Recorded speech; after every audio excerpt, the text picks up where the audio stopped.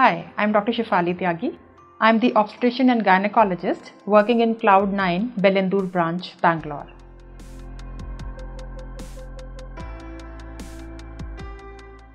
Barrier methods of contraception are quite safe method and if used properly, the failure rate is very low. The success rate can be as high as 99%. But if you don't use it properly, then there can be failures and you can become pregnant. The most common reasons for failure of barrier contraceptive can be that either the size of the contraceptive barrier used is not correct or it slips out while you are using it or it tears out so that some semen can leak while you are having intercourse. So you have to be careful while choosing the size. Correct method of application should be practiced before you use it and the fertile time should also be judged correctly. Otherwise, barrier method is a good method to use and during ovulation can be easily used if you don't want to conceive.